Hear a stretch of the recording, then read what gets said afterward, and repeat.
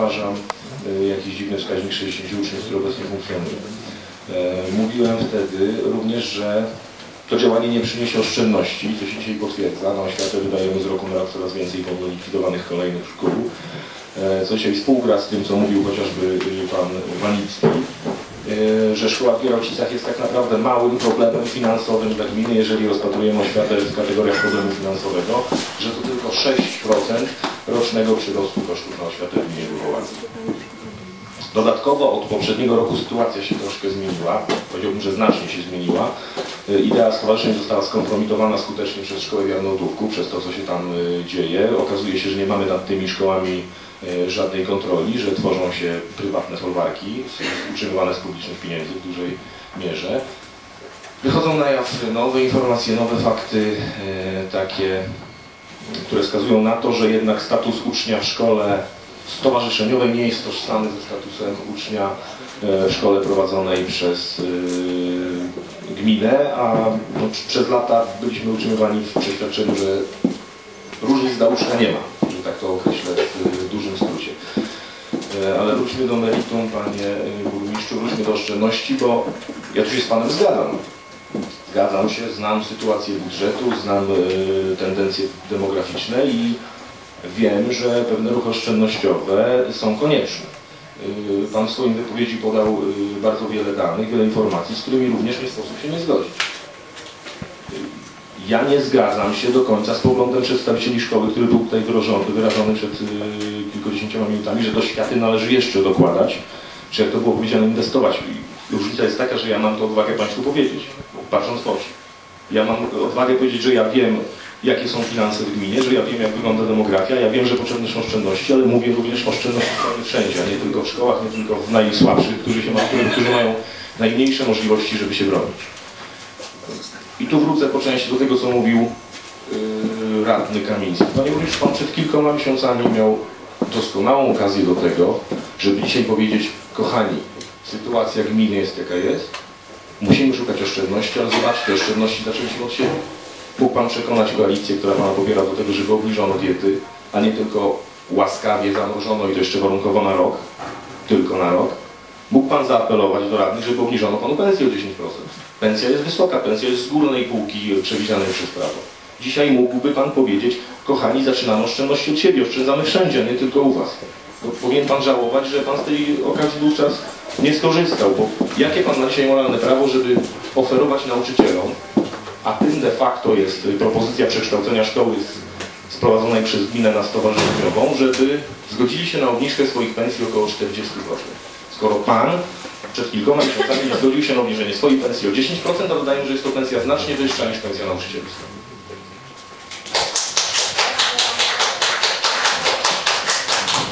Dodatkowo, Panie Burmistrzu, co ze szkołami miejskimi?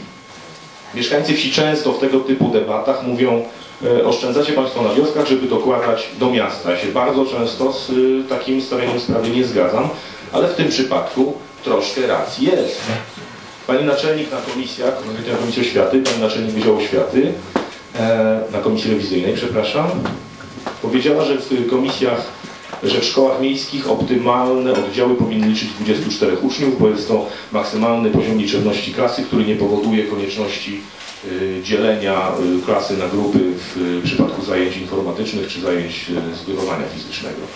I co się stało? Patrzymy na tabelki ze szkół miejskich, ze szkoły podstawowej nr 1 i szkoły nr 2. Jak to wygląda? Wygląda tak, że prawie w każdym roczniku jest jeden oddział, który liczy 25 bądź 26 uczniów i dwa oddziały, które liczą znacznie mniej. Wystarczyłoby tą jedną czy dwie osoby na etapie planowania, na etapie zakładania pierwszych roczników przesunąć do innej klasy, nie byłoby dodatkowych kosztów. Więc jak się pytam, jak, jak szukamy oszczędności, to szukajmy ich wszędzie, również w szkołach miejskich. Tutaj ten warunek nie został spełniony. Nie wiem, czy ktoś kontroluje to, jak klasy są spełniane, czy jest to tylko element, element mnożenia oddziałów tak naprawdę, aby zatrzymać zatrudnienie w szkołach miejskich na do- dotychczasowym poziomie przy spadającej liczbie uczniów. Czym to skutkuje? Skutkuje to wzrostem ucznia w szkołach również miejskich. Efekt mamy taki, jak pokazywał pan Wanicki na, na wykresach, że likwidujemy kolejne szkoły, uczniów jest coraz mniej, a koszty utrzymania szkół są coraz większe. I to jest prawdziwy problem. I tam można znaleźć oszczędności, bo tam to jest naprawdę duży procentowy udział w przyroście wydatków gminy na oświatę, a nie 6%. tak jak w przypadku szkoły w Gierałdzicach. Fajnie to wyglądało, co pan skarbnik pokazał, dopłacamy 7 tysięcy złotych, ale to jest tylko 6% rocznego przyrostu wydatków na oświatę. No dobrze, koszty zostają, ale liczba uczniów jest mniejsza, 7 tysięcy razy 50, a, a 3 tysiące razy 100, no to, to, to jest mniej więcej tyle samo.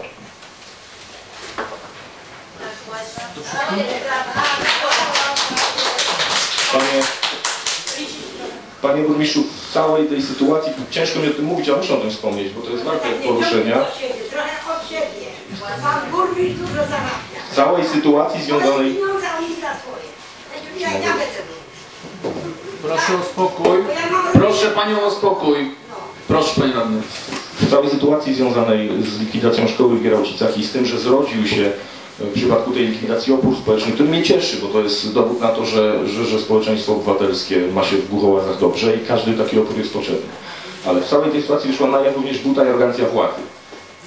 Ja nie mówię tutaj o panu, panie burmistrzu. Ja się spotkałem z butą i z arogancją władzy na komisji rewizyjnej w wykonaniu pani naczelnik Wydziału Oświaty.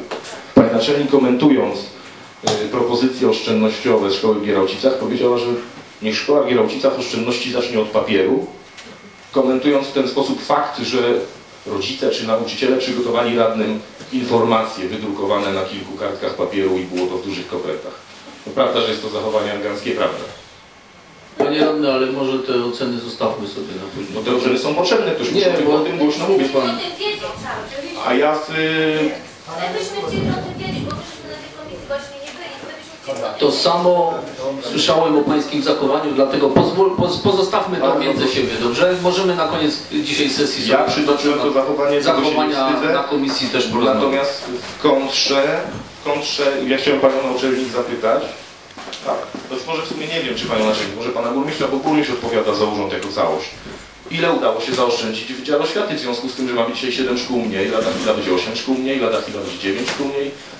Ile udało się konkretnie pieniędzy zaoszczędzić na funkcjonowaniu Wydziału Oświaty? Z ilu etatów udało się zejść? I tutaj od razu proszę nie stosować tanich chwytów, że ministerstwo, zły rząd nakłada na nas wielkie, większe y, zadania, nie idą za tym pieniądze, dlatego trzeba utrzymywać, y, utrzymywać to zatrudnienie. Bo są gminy, gdzie pomimo, że funkcjonują w oparciu o ten sam system prawny i ministerstwa te same ich dotyczą, zatrudnienie zwiększane nie jest, a wręcz y, są i takie, gdzie jest ograniczane. A to, co powiedziałem na początku, jak oszczędzać to wszędzie, skoro sytuacja jest ciężka wszędzie, a nie wybiórczo, nie na najsłabszych. No nie sposób się nie odnieść do tego, co się ukazało w y, periodyku samorządowym. To jest tygodnik. Pismo samorządu terytorialnego Nasza Wspólnota. Laurka powiedziałbym. Laurka wystawiona głuchołaskiemu systemowi oświaty, no, która, którą każdy może, kto, kto już dzisiaj troszkę wie, jak ten system funkcjonuje, tak naprawdę powinien przeczytać i wyrobić sobie zdanie na temat, na temat tego, na ile można wierzyć temu, co, co, co, często jest pisane. O którym Pan mówił, które mają wszyscy nauczyciele, złożenia wniosku o przeniesienie, to ja jestem ciekaw, bo skoro Pan podkreślał, że wszyscy nauczyciele mają tako prawo, takie prawo, którzy z tych nauczycieli będą mogli to prawo zrealizować, u których to poza Panem zafunkcjonuje, czy zostaną rzeczywiście przeniesieni do innych szkół. Myślę, że porównanie z ubiegłego roku mówi samo za siebie, że ile osób znalazło pracę z tych dwóch placówek, którzy chcieli pracować dalej w placówkach gminnych. Wtedy pełny obraz będzie Pan miał. No to będziemy mieli y, na tym przykładzie, który będzie. No ja nie muszę mieć odpowiedzi dzisiaj, prawda? Świat się dzisiaj nie kończy, ani jutro. Pracy nie ma? Mój syn nie ma pracy. Panie-. Kończąc, panie burmistrzu, gmina to są ludzie, a nie urząd. No, o tym już mówiłem wielokrotnie. Jak ludzi jest mniej, jak dzieci jest mniej, jak szkoły trzeba zamykać, to znaczy, że gmina się zwija, a nie rozwija. Jak pan też to wielokrotnie stara się nam wmawiać, że gmina się rozwija. Y, Natchnęła mnie do tej uwagi bo pani y, nauczycielka bodajże z Gierałcic, która przedstawiała razem z panem Wanickim y, prezentację. No rzeczywiście tak jest, że my troszkę nie wierzymy w to, że w najbliższej przyszłości w tej gminie będzie, gmina się będzie rozwijać, czyli że będą tutaj, y, że będzie u nas więcej dzieci, że będą się dzieci rodziły, że będą chciały pójść gdzieś do szkoły. Darły się tu pewne, y, y, jak gdyby nieprawdziwe informacje, gdy pan Kamil przytoczył to, że w szkole numer jeden y, dwie osoby można było przenieść do innego oddziału i wówczas koszty były mniejsze. Ja bym chciał powiedzieć, że nie, a ja powiem panu, bo w tej szkole pracuję. Mówi pan nieprawdę. Nie, nie jestem stronniczy, pracuję w tej szkole i chcę wyjaśnić, na czym polega ta nieprawda. Pan powiedział, że dwie osoby przesunięte do innej klasy spowodują mniejsze koszty, a ja panu mówię, że te dwie osoby nie powodują większych kosztów, bo nie ma podziału na informatyce, nie ma na WF-ie, na językach. Także żadnych kosztów nie ma. W poprzednim roku również podobna sytuacja była. Dwa takie oddziały były powyżej 27 osób, od 30 i również, również nie było, y, wówczas również nie było podziału na grupy, więc y, te koszty nie były zwiększane. Także Panowie, proszę, bez, dziękuję bardzo. bez debaty. No, będziecie teraz się przekrzykiwać. Chcę podziękować panu radnemu. W takim razie błąd mnie prowadziła pani naczelnik Wydziału Oświaty. No, oczywiście. Pan radny Gedbala i pan radny Żurakowski zamykam dyskusję. Cztery uwagi. Pierwsza to taka, pani naczelnik nikogo nie wprowadzała w błąd, pan sobie tam sam to mówił, że można przesunąć. Ja panu tłumaczyłem, że y, pewne y, ilości, przepraszam bardzo, ja się nie wtrącałem w pana wypowiedź. Y, Tłumaczyłem, że pewne y, zmiany y, ilości uczniów w klasach jest niemożliwa ze względu na kontynuację nauki, chociażby języka więc dzieci przesuwać z klasy angielskojęzycznej do francuskojęzycznej naprawdę trudno jest y, przesunąć. Y, W podstawówkach są różne języki, francuski, angielski, niemiecki i taka jest kontynuacja później nauki języków najczęściej w gimnazjach. Dlatego y, również w przedszkolach jest prowadzona nauka języków, więc dzieci się zapisują najczęściej tak, żeby kontynuować y, język. To jest pierwsza sprawa. Druga sprawa, chciałem przypomnieć, że w lutym zeszłego roku, kiedy rozmawialiśmy na temat y, likwidacji szkół w Argelinie i biskupowie, y, Pana wypowiedź zdążała do tego, że należy zlikwidować wszystkie szkoły wiejskie, bo wtedy dopiero będą oszczędności. Dziwne, że tym razem nie mówi Pan, że do końca, że szkołę w Gierałcicach należy zlikwidować. Tego Pan nie powiedział. A dzieci przenieść do innych szkół. I że takie jest Pana zdanie. Dziwne niedopowiedzenie, ale jednak. No i to właściwie wszystko. Dziękuję bardzo. Lekceważeni! Jesteśmy lekceważeni! Chcemy zabrać jeszcze głos! Proszę, Czy to naprawdę jest tak ważne, żeby doprowadzać do tego typu ale panie radny, to pan doprowadza do tej sytuacji. Ja myślę, że Traktujemy czym? Świecie jakimś tutaj nie wiem. Szanowni Państwo, udzieliłem Państwu odpowiedzi, udzieliłem głosu tak, jak było tutaj zgłoszone. To, co Panie mieliście do powiedzenia, wydaje mi się, że zostało powiedziane. Ale że później były różne inne... Chcieliśmy się odnieść do, na przykład do słów pana burmistrza, do O rodzinie, tak. radnych. Dobrze, przystępujemy do głosowania. Czy Pani rad... Kto z Państwa jest za podjęciem uchwały w sprawie zamiaru likwidacji publicznej szkoły podstawowej w Gierałcicach?